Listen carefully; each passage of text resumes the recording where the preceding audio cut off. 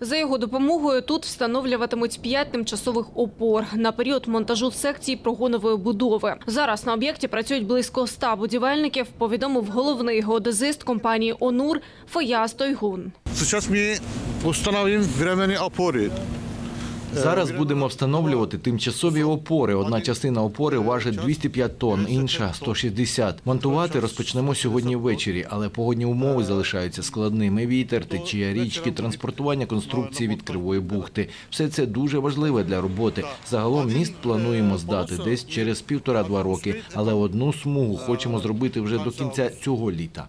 Нагадаємо, через кригу на Дніпрі плавкран Захарій понад тиждень залишався нерухомим у затоці Крива бухта. І тільки зі зміною погоди повернувся до будівельних робіт. У Кривій бухті вже зібрані дві прольотні секції мосту. Зараз укрупнюють третю. Загалом для авантового мосту їх необхідно 12. Вага кожної 700 тонн. Плавкран Захарій транспортуватиме секції до місця будівництва на споруду номер 10, повідомив заступник начальника служби автомобільних доріг у Запорізькій області Олександр Шандиба. Ми завершимо роботи з монтажу тимчасових опор.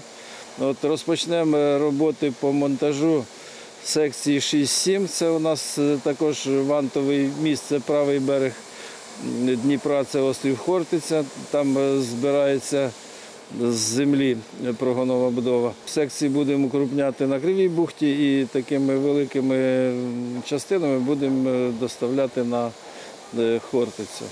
Ну а після завершення монтажу тимчасових опор ми будемо монтувати першу секцію, яка у нас стоїть перша на викоточному пірсі. Ми її подамо під кран Захарі і з допомогою кран Захарі відвеземо на 10-ту споруду і там її змонтуємо.